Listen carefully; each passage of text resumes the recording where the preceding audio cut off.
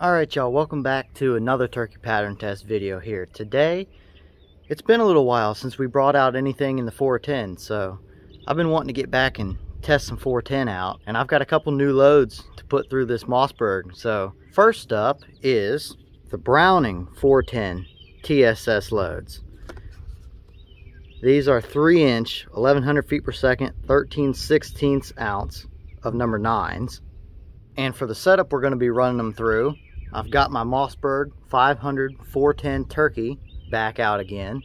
And to start out with, I've got the stock extra full turkey choke in the gun. This is a 380 constriction choke. So definitely a little bit more on the tighter end for a 410, considering most people run 385, 383, 390, somewhere in there. So we'll see what these Brownings do out of it. And they might like the tight choke or they might like a little bit more open choke. I don't know. From what I've seen, these Brownings can give a little bit of a mixed result. Sometimes they perform okay, and other times it's not very good. I don't know. Maybe it's a consistency issue. It is a big box store, off the shelf load, so you never quite know what you're getting into with one of those.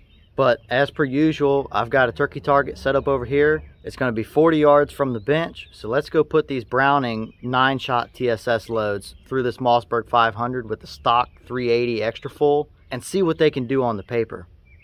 All right, we're all set up over here at the bench at 40 yards. So let's run these Browning 13 16ths ounce of number 9s through this Mossberg 500 410 turkey with the stock extra full 380 choke and see what they can do.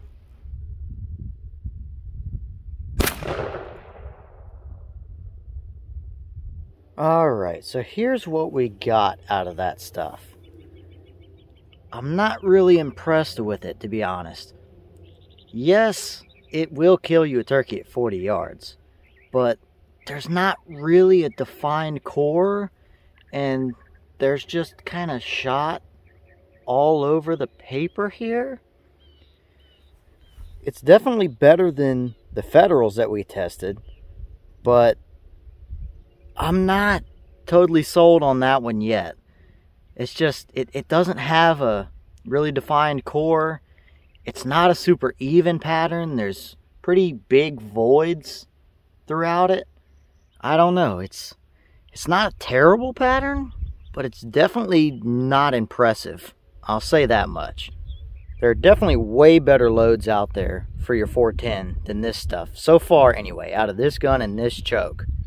We'll have to test this stuff some more once I get some different chokes and see if we can get it tuned in any better than that, but I have a feeling that's about what it's going to give us, which isn't anything super impressive, but it's not super terrible either, I suppose.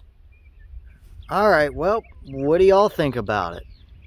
It's not a terrible pattern, but it's definitely nothing impressive, I'll say that if that's what you've got available and can get your hands on, it will take a turkey out to 40, but it's definitely not the best stuff out there. And even for the big box store stuff, the Herters will outperform that any day of the week.